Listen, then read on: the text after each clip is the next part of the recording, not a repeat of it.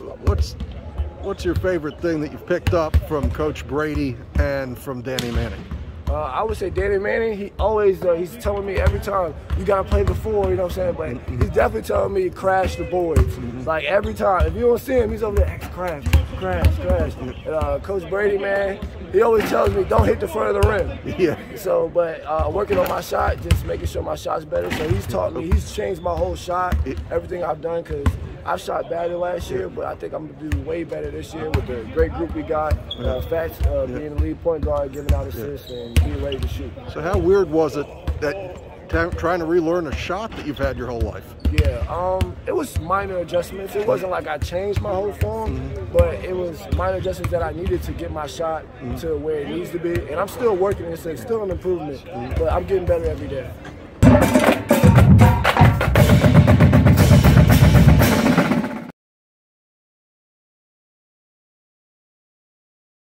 Viner Gates makes your company work.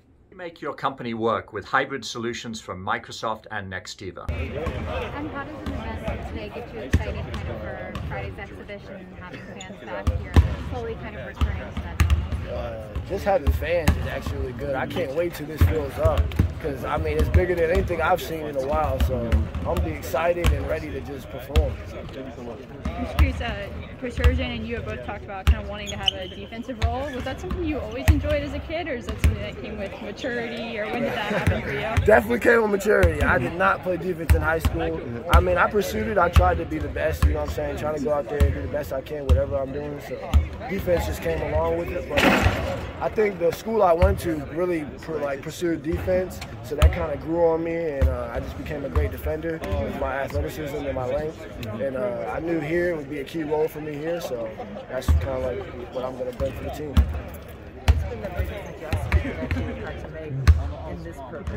Um, I would say uh, just knowing when I'm gonna get certain shots. Uh, just playing. We've been, like I said, our chemistry's getting up because we're, we're, you know, I'm saying a lot of different people coming in. You know, Rhode Island, Q, a lot of guys. So just getting our chemistry up, knowing what our guys like to get the ball. Like Q likes to get on that, right block or left block. You know, so uh, just learning certain things. And uh, just knowing where I'm gonna get my shots and, and playing defense is mostly really what I'm adjusting to. What's it like being one of the older guys, also the new guy? It actually is a little difficult because you know you don't know everything, but you know a little bit. You know what I mean? So uh, it, it, it helps because I know certain things, so it makes things transition very smoother. But I guess when I'm older though, a lot of guys make a lot of young mistakes and uh, not really focus the time. Sometimes myself. So it's, it's best to teach them because sometimes they'll be on me because we want to pursue. Well, all our everybody we want to make everyone leaders. So that's our goal for everybody. We all leaders, and we all want to help each other out. You guys talked about right there. Uh, what's something that you feel like you've learned since you got here? I know you've only been here, you know, but anything Um, particular?